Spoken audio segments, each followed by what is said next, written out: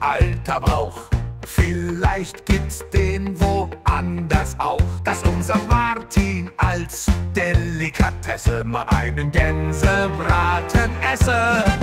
Im November fahren wir nach Bayer, denn dort gibt es Gänsebraten.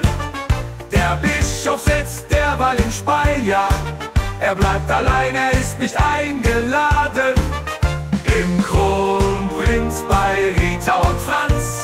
Gibt's heute wieder ganze Gans. In einem Gatter und nach Halle, da schnatterten die Gänse alle, die hier erlebten ein schönes Jahr. Sie schweben nun in höchster Gefahr.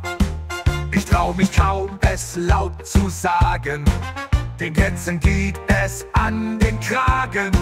Sie werden gerupft und ausgenommen, sie in die Küche kommen.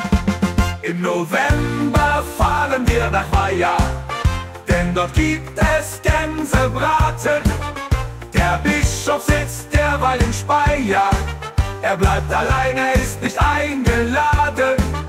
Im Kronprinz bei Rita und Franz, da gibt's heute wieder ganze Gans. Hier wird gewürzt und dann gebraten. Ist dann der Braten gut geraten, wird tranchiert und schön garniert, mit einem guten Wein serviert. Gereicht dazu, gemacht ganz frisch, die Soße Knödelrotkraut auf den Tisch.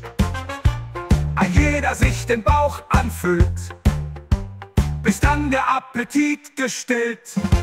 Im November fahren wir nach Weiher, denn dort gibt es Gänsebraten. Der Bischof sitzt derweil in Speyer, er bleibt allein, er ist nicht eingeladen. Im Kronprinz bei Rita und Franz, da gibt's heute wieder ganze Gans.